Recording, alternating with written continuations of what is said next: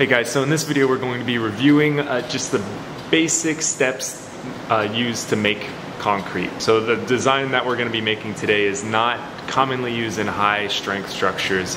Uh, we're breaking it down in just four primary ingredients. One being of course the cement. The cement is going to be what is binding it all together and causes the chemical reaction between the different elements to cause and you know give it its strength. Uh, the second is going to be fine aggregate. We're just using sand in this case. Third is going to be our coarse aggregate, which is going to be uh, primarily a limestone aggregate taken just from the stockpile out in by the uh, parking garage. And then of course the final ingredient is our water and we are going to mix them all together at a certain percentage by weight, not by volume.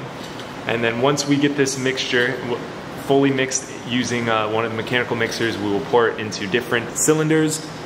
We'll put those cylinders in a curing bath of just water and we will test the compressive strength of those cylinders from three days after mixing, seven days after mixing, 14 days after mixing and 21 days after mixing.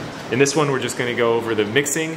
We're also going to be doing one additional test that looks at the flow or the workability of the concrete. So the test we're going to be doing is what's called the slump test. And the slump test again follows or just gets us a, good understanding of the flowability or the workability, how easily the concrete can move throughout the void. And it also sheds light into the water cement ratio. So there's a sweet spot where if we have too much water, then it will not cure properly.